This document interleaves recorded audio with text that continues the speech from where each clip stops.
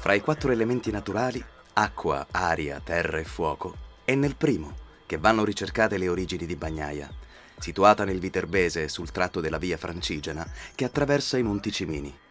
Alcuni archeologi asseriscono che il territorio è stato chiamato così per le abbondanti acque che interessano quell'area. Nonostante le numerose ricerche effettuate, ancora oggi non ci è dato sapere da dove venivano i primitivi abitanti di Bagnaia. Pertanto, le sue origini rimangono avvolte nel mistero.